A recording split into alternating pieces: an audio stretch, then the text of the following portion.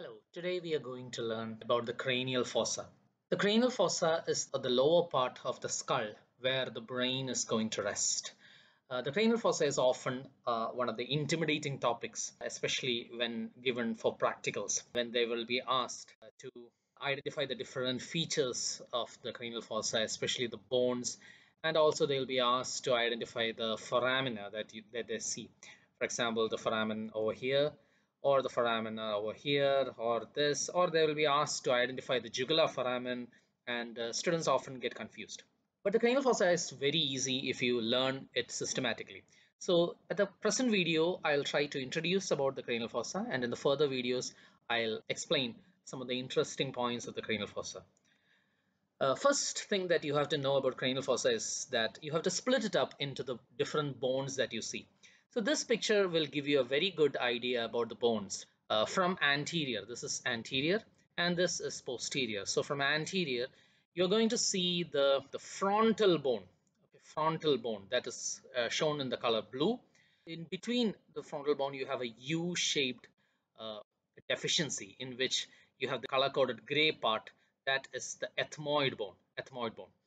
So uh, these two are forming the anterior part of the cranial fossa uh, then a little more posteriorly, you have uh, the orange colored bone over here. Okay, that bone is the sphenoid, sphenoid bone. So sphenoid bone has different parts. For example, this is the body, this is the lesser wing, and this is the greater wing. Uh, so all of this is together forming the sphenoid, and that's almost at the central location of the cranial fossa. Uh, now posteriorly, you have this large bone, and that is the occipital bone, occipital bone. Uh, now, if you uh, look at this carefully, between the occipital bone over here and the sphenoid here, you can see this pink colored bone is wedged between them, the occipital and the sphenoid. So this is the temporal bone, temporal bone. There are different parts of the temporal bone. For example, this part is rocky in structure, that is called the petrous part of the temporal bone. This is more flat and that is called the squamous part. So I'll just uh, write P here, which shows petrous part, and I'll try uh, write SQ here, that's the squamous part. So this, uh, these are the basic bones that are mainly forming uh, the skull base. I'll clear it up.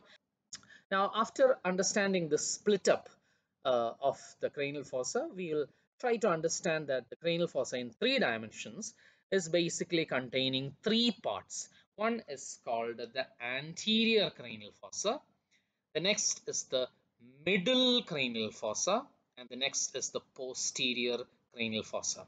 The anterior cranial fossa is the one that you see over here. The anterior cranial fossa is over here. Uh, the middle cranial fossa uh, shown as blue color here uh, is more posterior and then more posteriorly you have the posterior cranial fossa and in this uh, GIF you can understand that this is almost like a stepwise arrangement. From the posterior cranial fossa you should uh, you should you know ascend up to reach the middle cranial fossa and you should again ascend up to reach the anterior cranial fossa. This is a very important uh, spatial concept uh, that is necessary to understand the cranial fossa. Okay so this is almost like a staircase. From the posterior cranial fossa you have to step up and step up to reach the anterior cranial fossa uh, with that understanding, uh, we should also know that how the brain is resting over here. You can see this uh, stepwise arrangement of the PCF, MCF and the ACF and that is almost corresponding with how the brain is arranged. You know that the frontal lobe over here is uh, uh, this is the this is, you know that this is the frontal lobe, this is the parietal, this is the occipital and this is the temporal lobe. This is almost creating the boxing glove arrangement of the uh, brain. Uh, I have mentioned that in one of the, my previous videos and you can see that the frontal lobe over here that will be resting on the anterior cranial fossa. Okay, this location will be the anterior cranial fossa. The temporal lobe in, in turn will be a little more lower and that will be uh, resting on the middle cranial fossa and instead of the occipital lobe you have the cerebellum over here okay the cerebellum cerebellum is located like this and the cerebellum will be located on the posterior cranial fossa okay, posterior cranial fossa this is very very important it's commonly asked what rests on the anterior cranial fossa it will, it will be the uh, frontal lobe what rests on the middle cranial fossa? It will be the temporal lobe. Both of them are part of the cerebrum, of the cerebrum. But on the posterior cranial fossa, it is not the cerebrum, it is the cerebellum. It is the cerebellum. Okay, you have cerebellum and also uh, uh, the brain stem is also resting on the anterior aspect of the posterior cranial fossa. So this point is very important. It is important also to note that where did the occipital lobe go?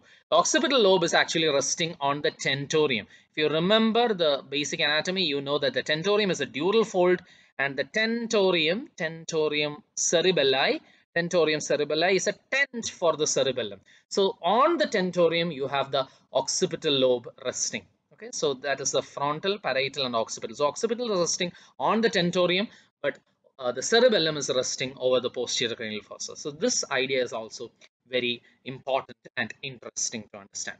So with that idea, we will look in cranial fossa with this app that is the 4D anatomy platform. And on this, we will try to uh, identify the features of the cranial fossa. So as you can see in this picture i'm going to rotate this. You can see the you can see the eye sockets over here the the nasal cavity over here. So you know that this is the facial skeleton so that's anterior. And when i rotate here this is the anterior cranial fossa this is the middle cranial fossa. If I rotate this, you can understand the three-dimensional orientation, how the middle cranial fossa is lower than the anterior cranial fossa. Please note that the anterior cranial fossa is where the frontal lobe will be resting. If you actually touch the surface of the anterior cranial fossa, you will feel the reciprocal, uh, you know, the mold-like, uh, the, cast-like appearance of the frontal lobe, sulci and gyri. And you will be able to feel this if you touch these surfaces. Okay, uh, that is the uh, impressions of the frontal lobe, inferior frontal lobe uh, surface, the sulci and the gyri will be creating these impressions.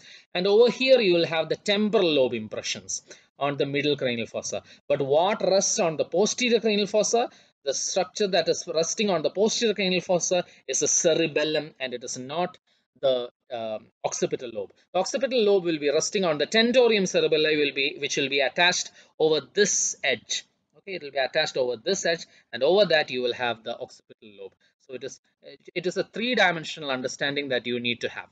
Now, one more point I want you to understand is that the, the anterior cranial fossa is at the level of the upper margin of the orbit. Okay, this is the level of the anterior cranial fossa. So this is important. On a person, you need to know that this is the level above which you have the frontal lobe. Also, the upper margin of the nasal cavity, that is also a limit. So this is approximately the limit above which you have the uh, brain, the frontal lobes of the brain will be resting over it. So that is very important because when you look at the anterior cranial fossa, you should understand that this is basically a wall that is separating uh, at the frontal lobe above and below that you have the orbital cavity. Now, if you look at the on the median aspect, you can see that the ethmoid bone with its cribriform plate that will be separating the nasal cavity below with the uh, frontal lobes above. Now, uh, below that you can see the middle cranial fossa. As I said before, the middle cranial fossa is a little more below. So what is the level of the middle cranial fossa on the exterior? The middle cranial fossa lower limit is almost at the level of the upper edge of the zygomatic arch. This bone is the zygomatic bone. Zygomatic bone is attached, uh, is articulating with the uh, zygomatic process of the temporal bone and this is called the zygomatic arch. The upper level is approximately corresponding with the lower border of the middle cranial fossa. So this is the level of the anterior cranial fossa and this is the level of the middle cranial fossa. This has enormous impact when you consider from a trauma aspect or from a neurosurgery perspective because these are external landmarks on the skull uh, which you will be using to know what are the structures on the deeper aspect, on the neuroanatomical aspect. So these are extremely important from the surgical perspective. Now below that you have the cerebellar fossa of the posterior cranial fossa. Now that is almost corresponding with the superior nuchal lines. Now I have a separate video over here and that, that shows how much it is important that uh, the external occipital protuberance and the superior nuchal line is approximately at the level above which you have the occipital lobe. Below that you have the cerebellum. that means the posterior cranial fossa. So below the external occipital protuberance, that is the level of the uh, posterior cranial fossa. This is the level of the middle cranial fossa and this is the level of the anterior cranial fossa. Now in the further videos, I'll uh, go into the details of the anterior cranial fossa, the middle cranial fossa and the posterior cranial fossa, especially the foramina uh, that will be seen here, which are uh, usually asked in examinations.